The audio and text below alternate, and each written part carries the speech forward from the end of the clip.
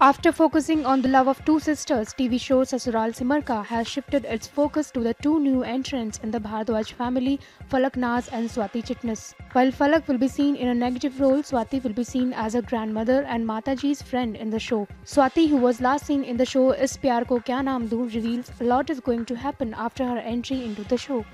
बहुत अच्छा लग रहा है बहुत मज़ा आ रहा है। आज मेरा पहला दिन है शूटिंग का तो बहुत मज़ा आ रहा है। वो मुझे भी पता नहीं क्या होने वाला है लेकिन बहुत कुछ होने वाला है इतना मैं बता सकती हूँ। माता जी की मैं बहुत पुरानी सहेली हूँ और 20 सालों के बाद उनको मिलने वाली हूँ। तो अब देखते हैं क्या क्या होता है। Produced by Rashmi Sharma Films, Sasural Simarka went on air in 2011 on Colors TV.